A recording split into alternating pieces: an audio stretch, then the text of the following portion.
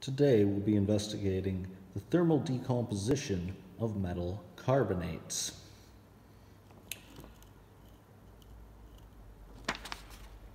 To begin, we need to set up our apparatus, as you can see here. We have a boiling tube with a rubber bung that has a delivery tube connecting it to a test tube. All of this is held up by clamps. The first substance we will be using is magnesium carbonate. As you can see, magnesium carbonate is a white powder.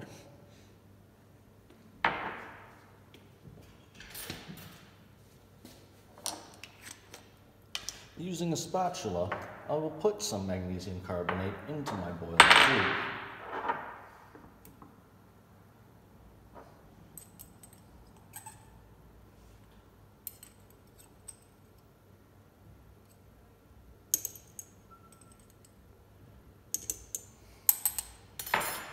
Next step is to close my boiling tube and ensure it is sealed with the rubber bung. In my test tube, I will be placing some lime water. Lime water is a clear solution. Lime water is used to test for the presence of carbon dioxide. If lime water turns cloudy, that means carbon dioxide is present. Using a pipette, I will put some lime water into my test tube. As you can see, lime water is a clear solution.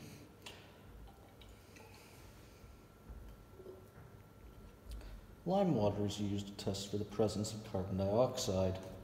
The moment the lime water is clear, it will go cloudy white if carbon dioxide is present.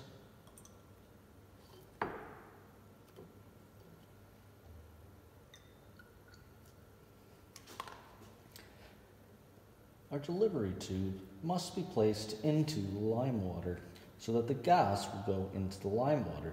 If our delivery tube is above the lime water, it will not change color because the gas will not go into the lime water.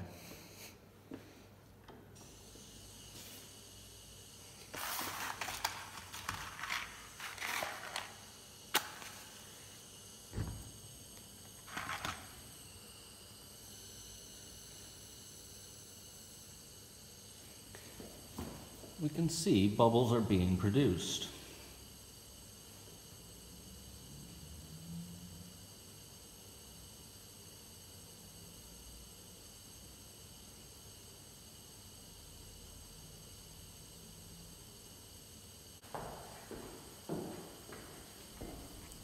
The lime water is changing color from colorless to cloudy. This indicates the gas being produced is carbon dioxide.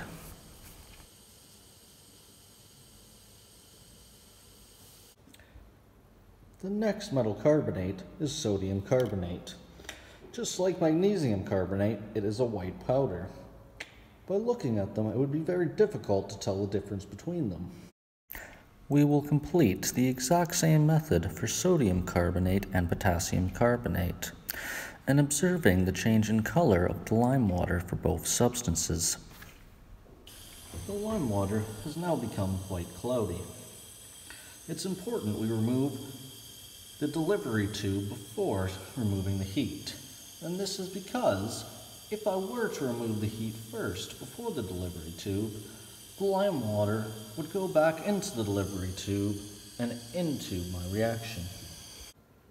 When observing the sodium carbonate, it doesn't look much different, but we can see a small amount of black on the white sodium carbonate.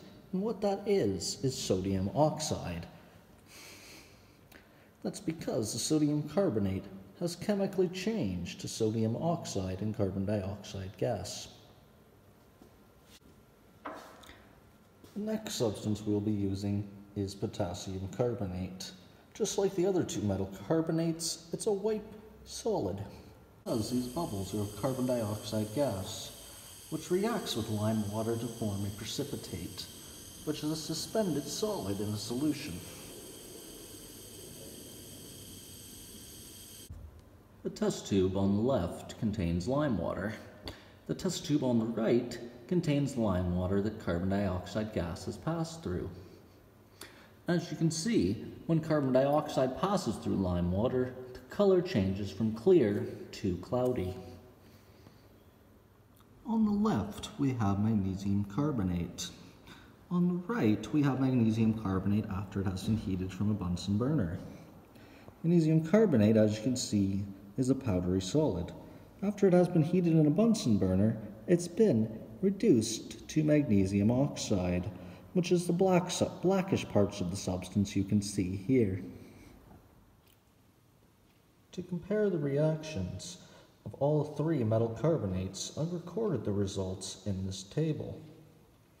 All three substances caused lime water to go from clear to cloudy, indicating that they were producing carbon dioxide gas. Now, all three solids either darkens very slightly in color or didn't change at all.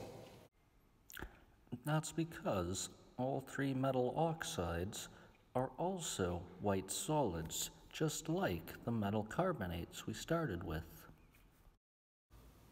To compare the thermal decomposition reactions of all three metal carbonates, I used a timer to determine the amount of time it would take for the lime water to turn cloudy.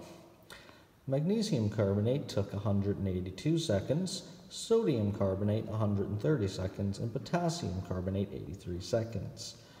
So the, the, thermal decomposition of potassium carbonate is the fastest reaction out of these three. To explain these reactions, I've written out word and symbol equations for the first two reactions.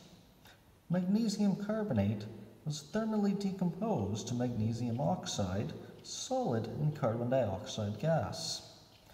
Just like sodium carbonate was thermally decomposed to sodium oxide, solid in carbon dioxide gas. The magnesium oxide was the white to almost creamish color solid we saw, and we detected the carbon dioxide gas by bubbling it through lime water.